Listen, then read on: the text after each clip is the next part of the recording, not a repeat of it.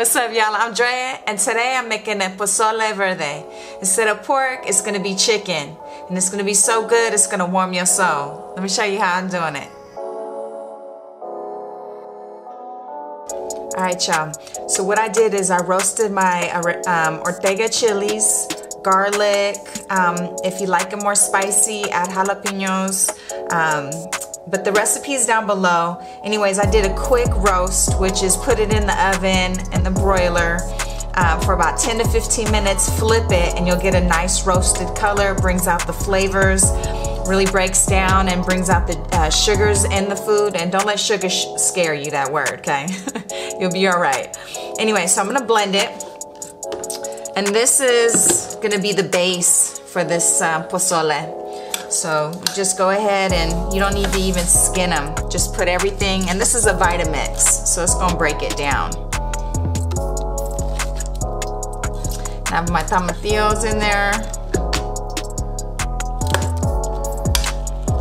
Just the juices from the chiles, the onion, the garlic, and you want that as well. It's full of flavor.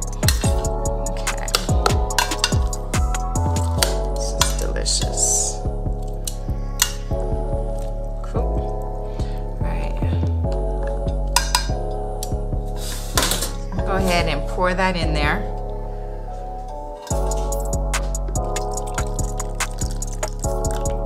Don't throw it out. It's good stuff. That's that good, good right there. All right, cool. And then I'm gonna put the cilantro. This is coriander and uh, oregano, fresh oregano. And then I'm gonna add the broth and then blend it up and then we'll go to the next step.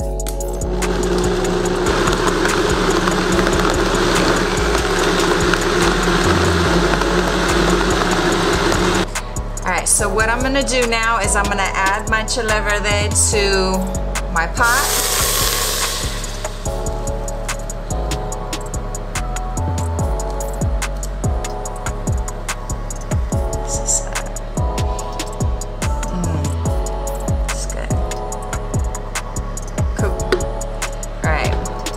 That's coming to um, a boil, I'm gonna cut up my chicken. And I just do nice chunks. Again, I want them nice and small, not too big, just so that um, the cooking time is quick. This is a, a fairly quick extra, uh, it's a quick exercise in the kitchen. Um, but very quick to cook. So it's really the time of roasting, you know, so you can kind of have a game plan already laid out so that um, you already know this is what you're going to be cooking. Have the chiles and um, tomatillos in, in the oven roasting. And then um, when it comes time for assembly, you just bust a quick shot. So chop that up. And we're going to add that to um, our broth and the chile verde. And then the next step is really simple.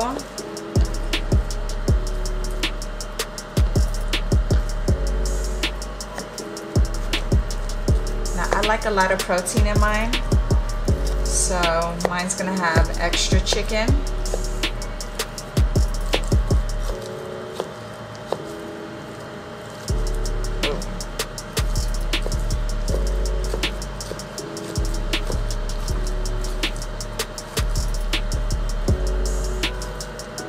Again, make sure you're cutting it around the same size so that it can cook evenly. That's up.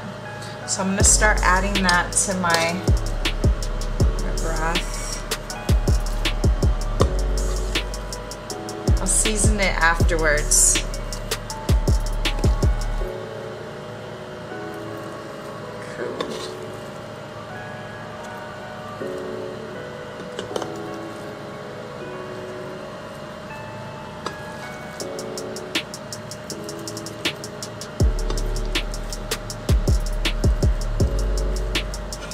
All right, y'all. So now I'm gonna add the hominy.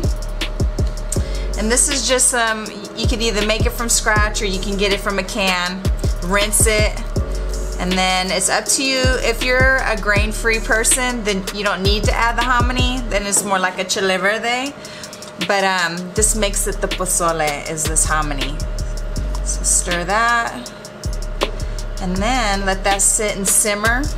And then once the chicken is cooked, then it's time to serve. I'm gonna show you exactly how I want you to uh, serve this dish. It's, it's very uh, important, you know.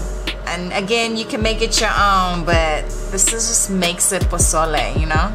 Alright, now that's ready.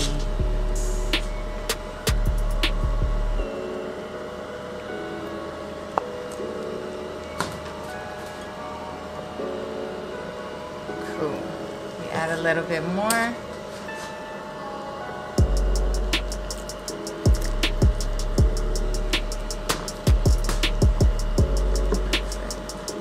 So now I'm gonna add cabbage. And I thinly slice this. You don't want it huge and thick, very thin. Cilantro. And I like cilantro, so I'm gonna add a little extra of that. Then you're gonna, these are very minced onions, so cut very small. Okay, then I'm gonna add the radish, which is delicious. And then the lime.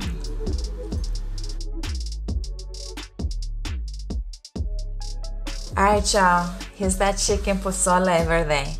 Hey, you can get fit, stay fit, love life, eating tasty food. It's a real thing. Subscribe.